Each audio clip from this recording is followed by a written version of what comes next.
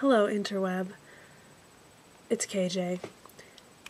So, of all the things that I've ever thought would merit me talking on the internet, um, Yankee Candle was not what I thought would come up first, but it is. Um, because frankly, it's something I think a lot about, and thanks to Josue Blanco, who introduced me to the world of YouTube Yankee Candle haul videos. So far, the market is completely dominated by 11 year old boys, and I think I need to get in on this since I'm a 31 year old woman and I think I know more. Um, so, the story of Yankee Candle, the reason I need to talk about it, one, it's really difficult to write about scent. And second, I feel like my Yankee Candle thing fits in with that same part of me that pretends to be secretive about my love of chain restaurants, but I'm actually pretty publicly unashamed and celebratory of it.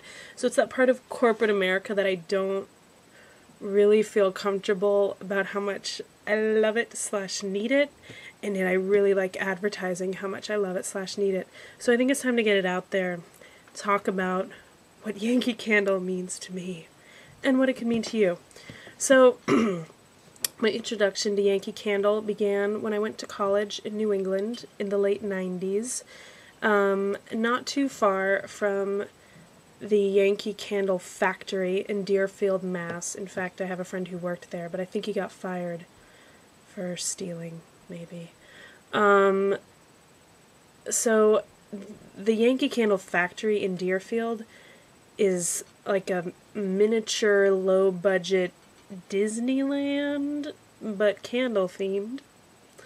Um, there are audio animatronic knights in armor and German carolers. Uh, and then there's like a swanky boutique of scented things. But anyway, I went there in like 1999, I think, and I came home with Sunflower and Stormwatch. Is that what it's called? Which were recently re released. Um, Stormwatch is currently one of these spring specials for 2011. And I can't use them because they smell like 1999. They smell like my sophomore year of college, which I liked, but don't want to go back there. Um, but being in graduate school now, well, then, for the past four years until the summer of 2010, I found that I could not function as a student without a candle burning in my room. Um, I began calling it the fires of academia um, or the presence of the Holy Spirit, whichever. Um, but it was basically, I could be up till four in the morning writing as long as I had Mr. Candle Flame in the corner burning. And then when I moved down here to the cottage, which you can't see, I have a fun uh, shadow from paper lantern on ceiling. It's really hard to point backwards.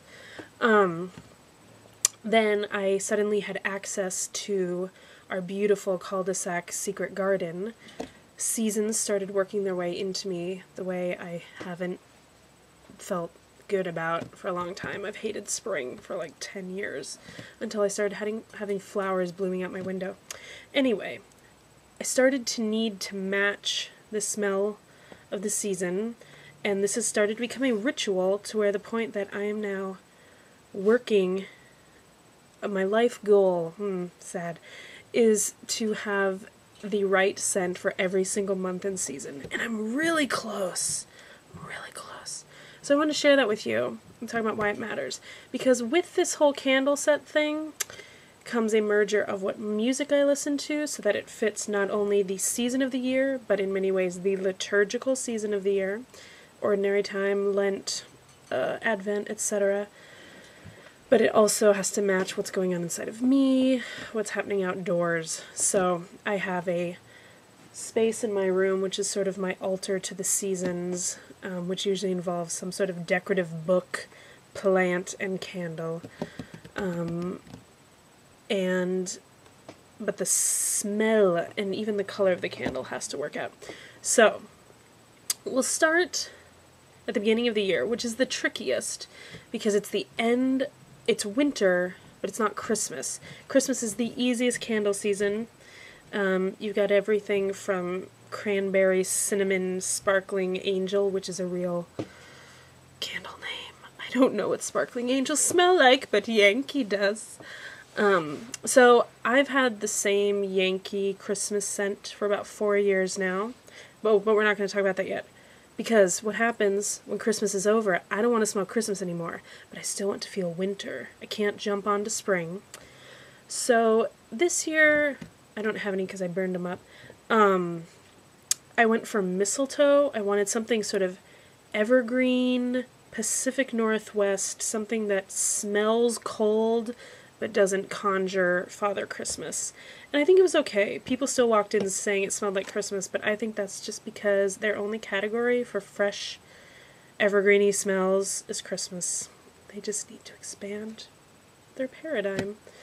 Um, I also have, oh, I could grab it. I bought Holiday Bayberry, hoping that that might work as a transition, because I thought Bayberry would be a perfect cold smell, but still it needs to be a cold smell that can still smell like a candle. I'll explain more about that. Um, but the holiday bear, bayberry smells too holiday.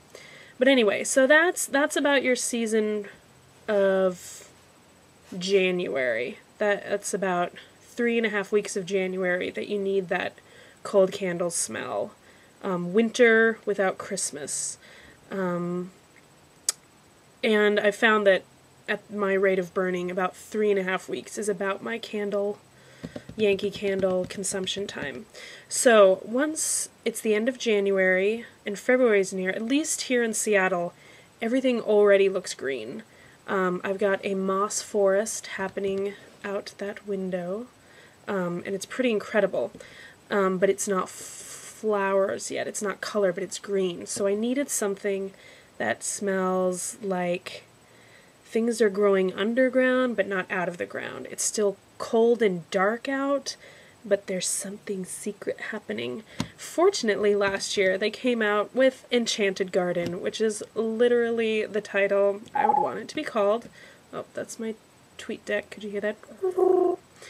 Um, I'll turn that off. So, Enchanted Garden, as I recall, is the smell of cloves, geranium, a bit of um, what do you call that? Like wood musk, sandalwood maybe. Um, and it's pretty strong, but I love it. It smells like being out on a rainy day and lifting up a wet piece of bark. It smells like that. Perfect. So that's what I had last year. It was a special edition. The sticker had gnomes on it, which I, I never show the stickers. Um, I think it's presumptuous for them to think that I want to decorate my room with their photography and not just their smell. Um, maybe we could work on that. Um, but this year, it wasn't on sale because it was a special edition last year, but a helpful Yankee service person at Alderwood Mall, hard to find, but they're there. Um, helpful, that is. They're always there. That's the hard part. Um, said that Enchanted Garden was just evening air retitled. Evening Air is also out of print, so I consulted the Amazon.com and found a seller who was selling Evening Air. So, voila, Le Evening Air. Um, they, I bought two jars. They both arrived shattered and broken. Great. Thank you for that. Um, but the shipping was free, so... Um, so I repaired it with some packing tape. But Evening Air um, smells mm, musky, dark woodland. However, um, so I just finished, I'm like down to here on the one that I bought. This is for next year. Um, already now, with it being the first week of March, I'm already like, when I come into my room and it's burning, I'm like, ooh, that smells too much like February. And it's March, it's time to move on. It's the trickiest time of year summer used to be the trickiest. Um, now it's spring. Because here's the thing. I love the smell of flowers. I don't like flame that smells like flowers. Uh, they don't work. Um, candles shouldn't smell like flowers because I have no association with flower and flame, except perhaps uh, George MacDonald's The Princess and the Goblin. Um, that's a whole other thing. But anyway, in the real world, so the trick is to find a scent that smells like it should be a candle, but um, smells like spring. So none of that hearthy, cinnamony smell. Mm-mm. So I actually just wrote an email to Yankee saying they need a tea fragrance line. They need to frickin' have candles that smell like Earl Grey, green tea, chamomile, vanilla rooibos would be amazing. Thank you. Um, but for now, so this is a scent that came out maybe last year and I was hoping it would work, but it didn't. But I'm giving it a go this year. Early Sunrise um, is described as um, fresh citrus, um, some ginger in there. I think it's supposed to smell like having your cup of tea in the morning, but it's really citrusy, like almost, almost like wood cleaner citrusy. Ooh, just got an element of Froot Loops there. Okay, try to forget I said that. Um, but the trick, the trick, so Yankee has like four categories. There's fresh, floral, food, festive, maybe some other, they apparently all start with F.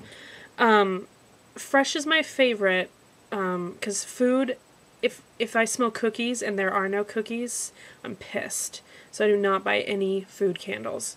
Um, especially the fruit ones just are rank.